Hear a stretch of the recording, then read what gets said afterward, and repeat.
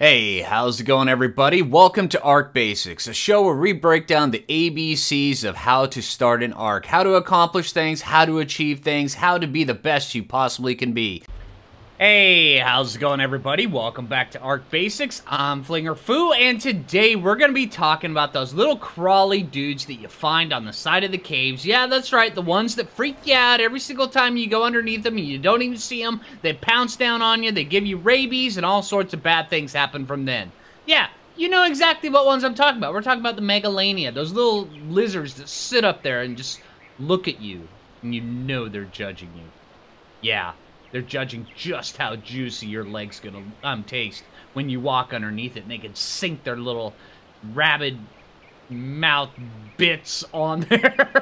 I don't know where I'm going with this, but hey, yeah, um, yeah, we're talking about those dudes now. Um, uh, Megalania are actually they're they're pretty good. Um, now they when it comes around time to uh, getting taming these things, they're not easy tames. They're not low-level tames. Matter of fact, they take the highest tier of kibble that you can get if kibble were ever to be the highest. Actually, there is a highest tier. They take the highest tier of kibble.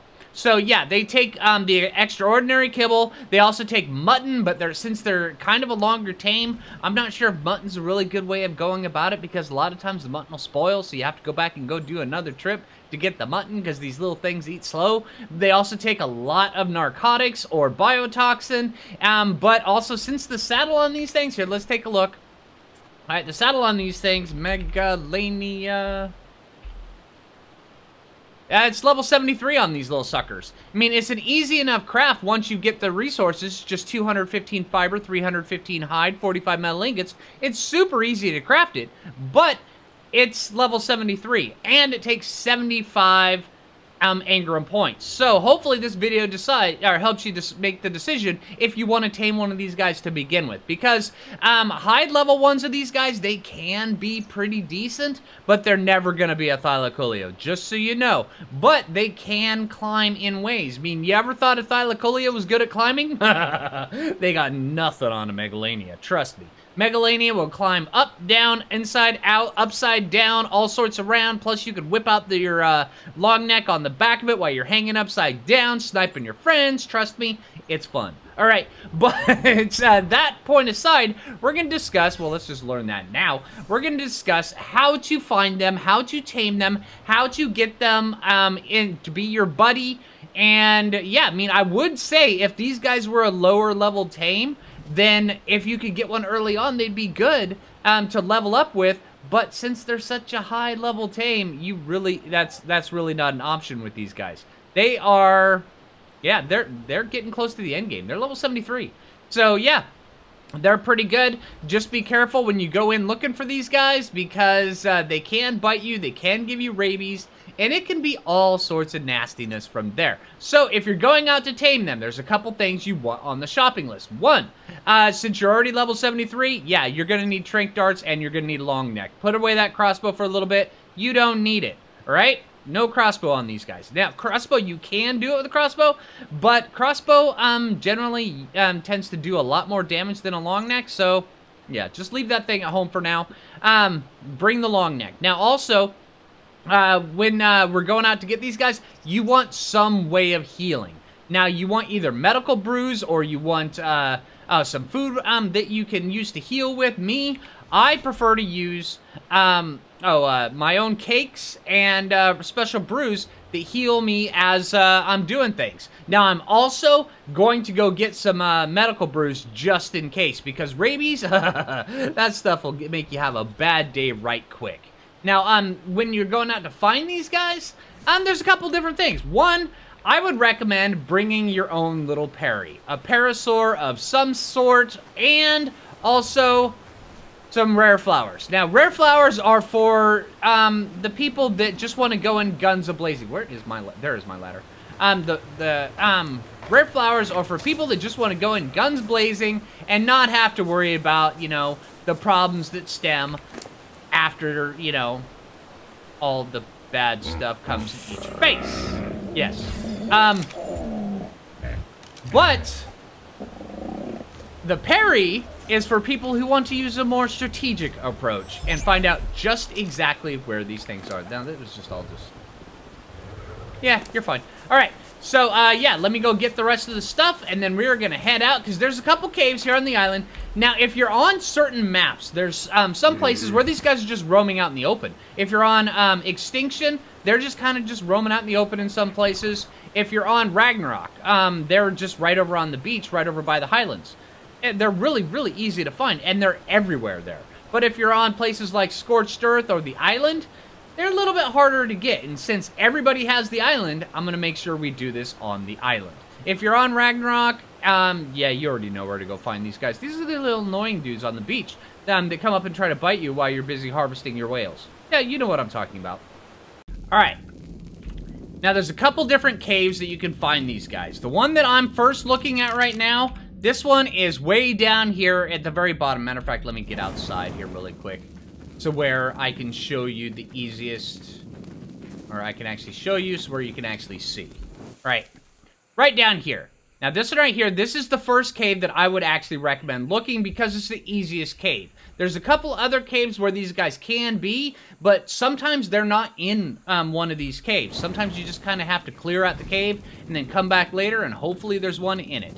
Um, this one right here is the uh, first um, cave that you uh, I recommend people go into, and because it's the easiest. So yeah, um, but yeah, when you get down in here, there's a spot where they can just be kind of just hanging out on the ceiling. All right, now we just passed the threshold. The cave is loading. All right, so now we come down in here, and this spot right here, there's generally not anything, but once we go around this corner, there can be a chance to have one. We also have to keep an ear out for uh, other big bad things. You know what? Why am I doing this? Let's just, uh... We have a Thylacoleo. Let's use said Thylacoleo. Right. So if we have a Thylacoleo, now one of the easiest ways of actually getting down inside of here, or being able to find one, is you come down in like this, and if there is one close, and you have a Thylacoleo,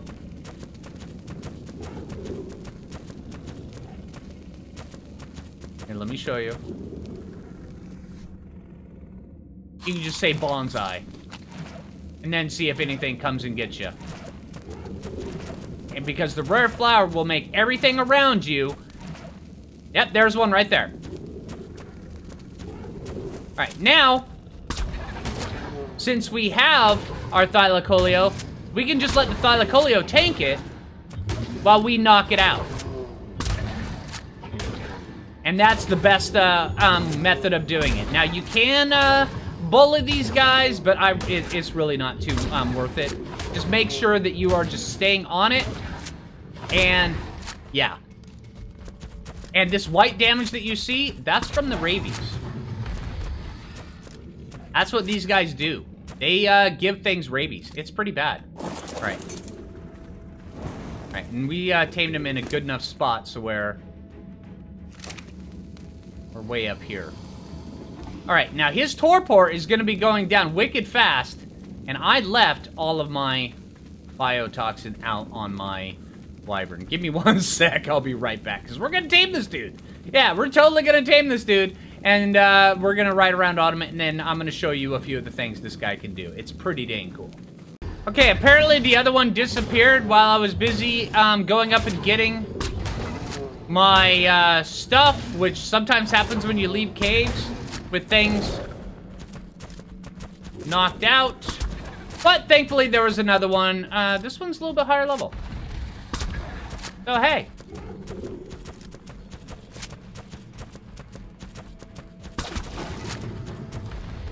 And you're out. Alright, and we're a little bit deeper in the cave this time. I'm sorry, I, I realized that was really hard to see. Oh no.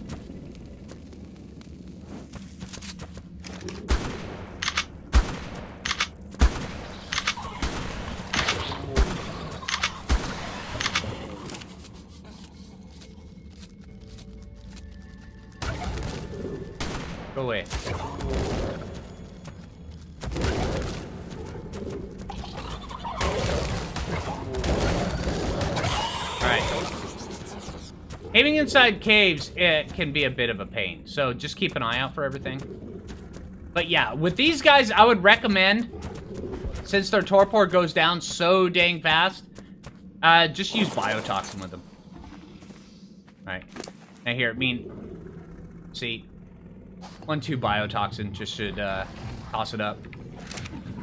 Alright, now uh, with the uh, um, kibble, now they're gonna take a lot of kibble. And their food goes down wicked slow. And each one of these kibble takes up 120 food. Make sure you're aware of that because you're going to be in it for the long haul if you come in here and you try to tame one of these things. So just be aware of that. Yeah. Now also, another way of finding these guys, and this is why I actually brought this dude, is if you uh, want the easiest way of finding one of these guys, just throw out your parry and then turn it on. Um, alert settings, enable turret mode and he'll point out if there's any nearby. Now, you can actually take these guys and drive them into the cave, and see, look at that. The entire cave is illuminated. Yeah. Parries are amazing inside caves if you need to find something. Yeah, it, it, it's pretty impressive. Alright, or you could just use the rare flower method, but just be aware, all those little red dots you just saw, if we were to use a uh, rare flower, um, yeah, they'd be all in our face. Alright, see, look. His torpor's already going back down after I gave him two biotoxin already. So I'm just gonna let his torpor go down to about maybe 2,000, give him probably about 20 biotoxin, and just let the dude sleep for a while. So hey, I will see you guys in a bit. Alright, and this one is up. So now we're, what we're gonna do, uh, the easiest way to get um, this dude out of here. Just take, throw him in a cryo orb if you have one and then we can get our butt out of here. Now, if you were to take one of those guys and try to use it as your, um, your caving mount, it is possible to do it. Matter of fact, they do make really good caving mounts, but you kind of have to have one with amazing... Oh, we can't get back. Oh, there we go. Uh, you have to have one with some pretty impressive stats um, in order to do that, because these things, they can have problems with... If I can actually get all the way out of here with the Thylacoleo. Nailed it! Alright, yeah! Alright, um, they can have uh, problems with their um, low me melee damage getting in the way of everything. Uh, let's, uh... You know what? Let's... This actually seems like a really good spot to showcase what these guys can do. Because with these guys, and I actually brought the saddle that I made up earlier, right there, bam. They can just climb. One. Ah, there it is. Right up the wall. All you do is right click and they go right up the wall. Just as good as a rock drake. Nothing else in the game climbs just as effective as these guys. Matter of fact, I think they might actually be a little bit easier to maneuver on the rocks than a rock drake. But you have to be kind of... Eh, you kind of have to teach yourself how to do it. It's it's it's pretty effective. It's really good. Now, how you get at in and out of the climbing stance? See that little uh, paw print up the top right? Or you use right click and it goes away. All right, now the left click is just the regular attack. Uh, they don't have any sort of C attack, anything like that. Um, on controller, I believe that uh, the right click thing, it's uh, jump. I believe that's it. But yeah, um, these guys, they make really, really, really effective uh, climbers. Here, let me show you. Hold on, let's get out this. Because you can fully ride around on it while having your weapon out, which makes these guys wicked effective. Alright, so say we can climb in like this, and I've got the torch out here for a reason. Sorry, Kopi, I'm coming by you. Alright, you can go inside the cave, and then watch this. They're one of the only mounts. Them and Rock Drakes are the only ones that can do this. It is wicked impressive. It is so cool. And then up here, you can even just whip out your shotgun. I mean, can't see anything right now, but still. Yeah. And you can kind of lay in wait and ambush things. It's it, it it's pretty cool. All right. There we go. Now I can actually see again. All right, let's get our butt out of here. Now, like I was saying earlier, um, these guys... Can I? Uh, there we go. Uh, these guys, they you might be tempted to take these guys into the cave, but like I was saying earlier, unless you have one that just has absolutely amazing stats, um, like say if you breed these, kind of super breed them kind of thing, and then you bring them in here, I wouldn't do it. I, I normally wouldn't do it just because um, it, bats are a thing. I mean, yeah, Onyc are a thing. If you get inside one of these caves and you get into a bad situation, the Onyc will just waste you. And, yeah, I mean, but compared with a really good shotgun, these things are rather impressive. Um, yeah, you can get into just about anything. All right, so now back to, oh, hold on. All right, let me see. Can I do this? Uh, that's how you do it. Okay, so that we've got Okay, now that the Raptor Menace has left us. All right. Uh, now let's see if we can do this again. All right, so M. Okay, here we go. All right, so we've got this cave down here. There's another cave right up here, just straight north of here. There's a cave, I believe it's right there, where sometimes these can be in there. Ned, just land, all right, dude?